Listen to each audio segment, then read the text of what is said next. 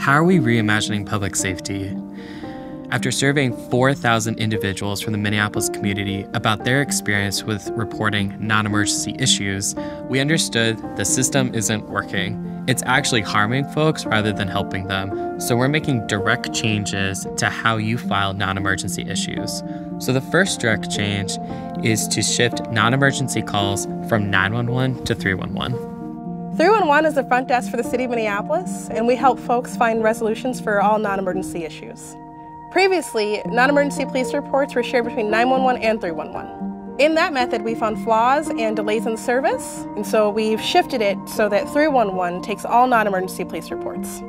When we reached out to the community and asked what their ideal reporting experience would be, they were clear on a few things. They wanted a dedicated non-emergency phone number, an online option, they wanted to speak with civilians instead of police officers, and excellent customer service.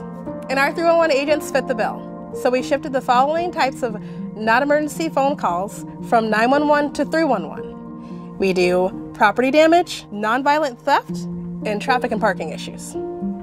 The benefits of this change are you don't have to interact with police. And not only that, but you don't have to go to a precinct and you don't have to wait for them to arrive on the scene. You can just call 311 or file your report online. The second direct change is establishing an overnight shift for traffic control.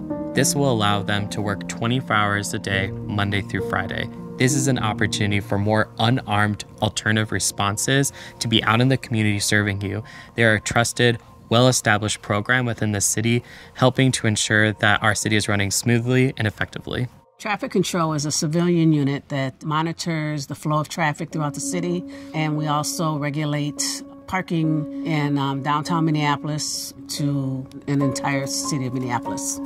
So traffic control already works AM and PM. So we added the overnight shift, and so now we're available 24 hours a day, Monday through Friday. I think it benefits the community because it's something that we already do as a unit. We're not armed, and I think it would provide a quicker service to the community. So if you have a parking complaint, you call 311. Often people aren't thinking about how to get help until an issue arises. That's why we are building more awareness for our unarmed alternative to police responses like 311 and traffic control. Learn more about both of those programs at minneapolismn.gov. I, I am Minneapolis. Minneapolis.